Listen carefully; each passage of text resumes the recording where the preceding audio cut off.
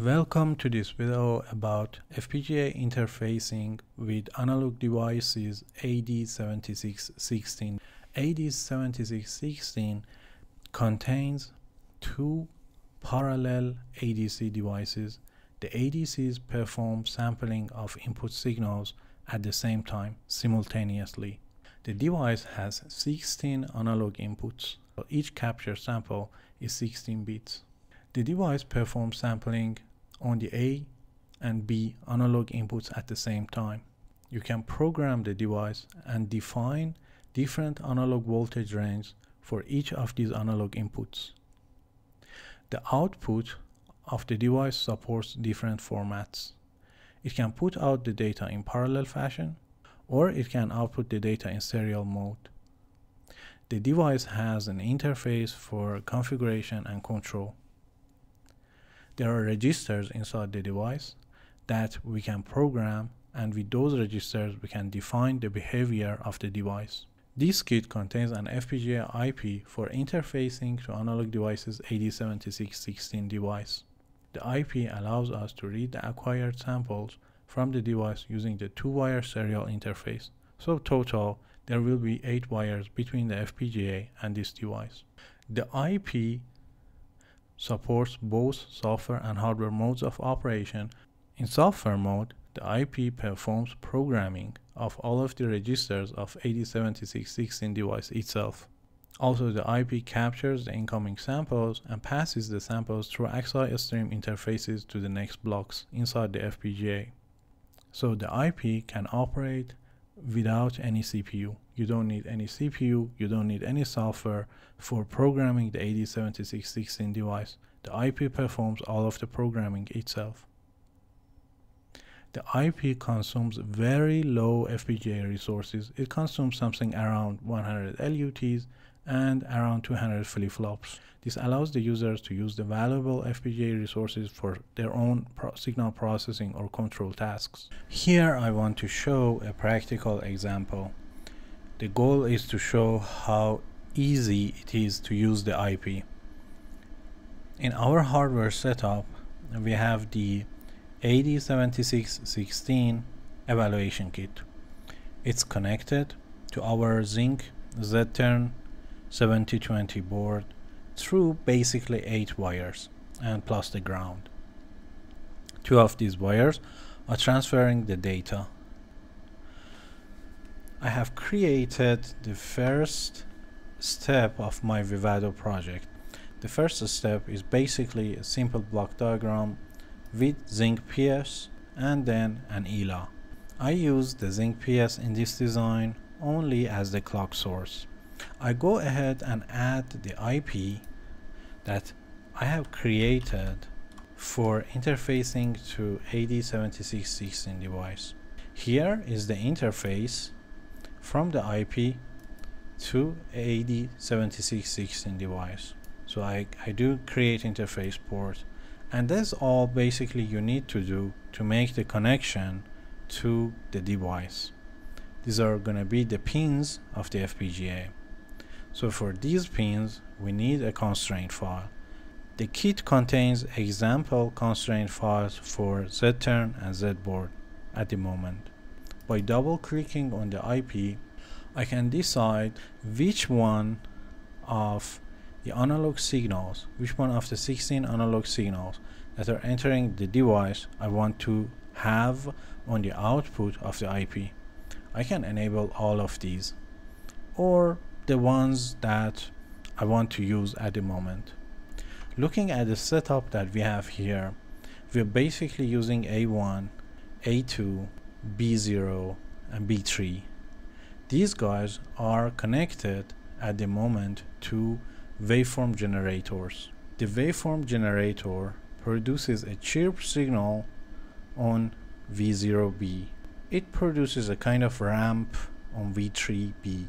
Then another function generator is producing a kind of reverse exponential pulse on A1 and then we have a simple sinusoid on A2 so I go ahead and enable those ports that I need. As I said you can enable all of these guys. For each of the interfaces, I can define the range of analog input signal related to that interface. So we are using V0B. For example, let's say this is a signal between minus and plus 5 volt. We are using A1.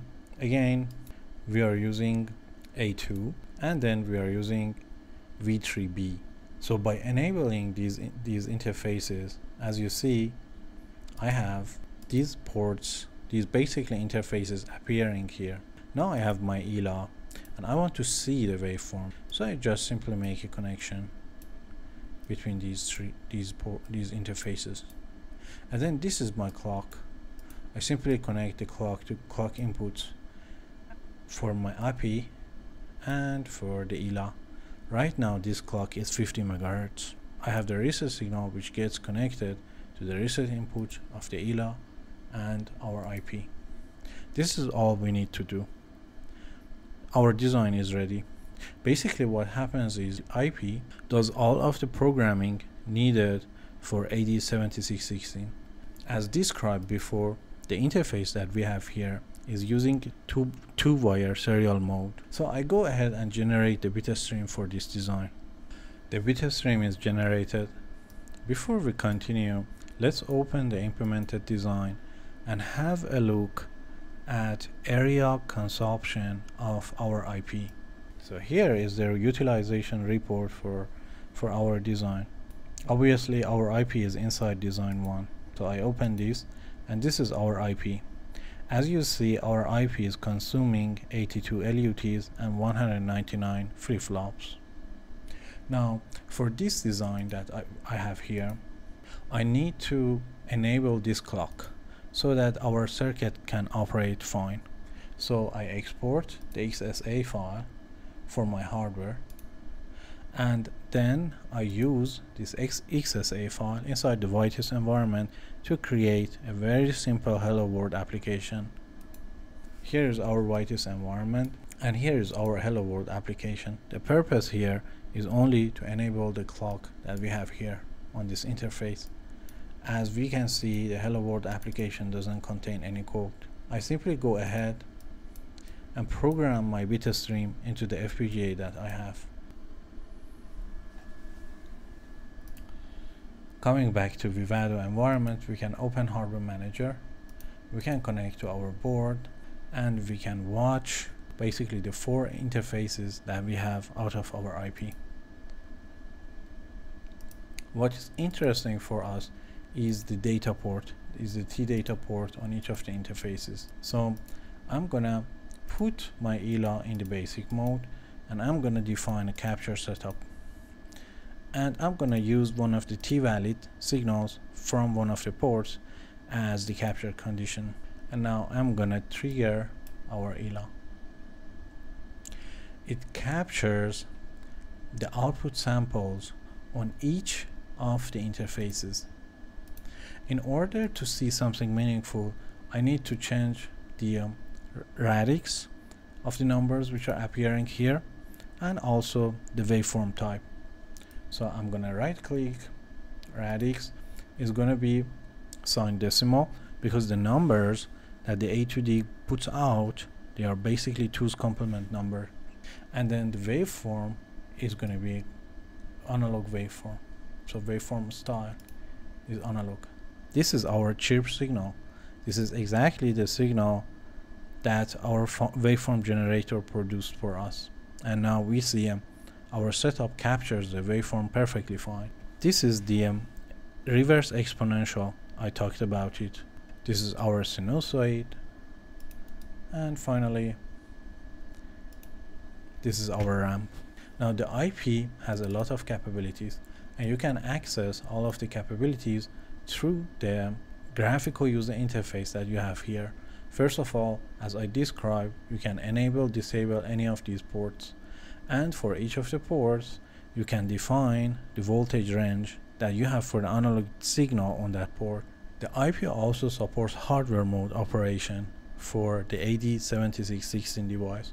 So if you want, you can put the IP in hardware mode operation. This is based on my experience, not really recommended since software mode is the mode that gives you the highest level of flexibility and the IP handles the software mode easily. The IP contains also an aggregate interface. That's when you you really don't need these these AXI stream ports, but you need one single AXI stream port that puts all of the sampled values for all of the 16 analog inputs as a stream as one single stream and sends it as the stream to the next next block in your design which usually can be a DMA block. So this aggregate port can be enabled and used in parallel with these ports. The IP also contains a simple debug interface. The simple debug interface gives you basically key debug information. For example it tells you what's the exactly the sampling rate at which you are sampling your analog signals at this moment in time. IP has the capability of switching to one wire mode. That's the mode in which the sample data is going to be transferred over only one wire. This is however based on my experience absolutely not recommended. I prefer to have both of the wires active. You can also easily enable the pattern generator when you enable the pattern generator, the IP will configure AD76, AD7616 so that it starts putting predefined patterns on its output. And at the end, you can configure the IP and tell that for AD7616, you want to use an internal or external reference. In this package, you will find different example designs for the IP. For example, in the package, there exists a simple example design in which all of the stream outputs of the IP are enabled and a block performs simple processing, simple signal processing tasks on the incoming samples. This is one of the examples available inside the package. There is also another example available inside the package which the aggregate output of the IP is enabled it's connected to an AXI DMA engine and the AXI DMA engine puts all of the samples in the PSI DRAM memory. The PS is operating in a standalone mode. The package contains more videos. There exists a video which describes the architecture of the IP in detail. The video also describes each of the example designs. We also briefly look at the circuitry for AD7616 the connecting signals between the FPGA and the device. Thank you for watching this video.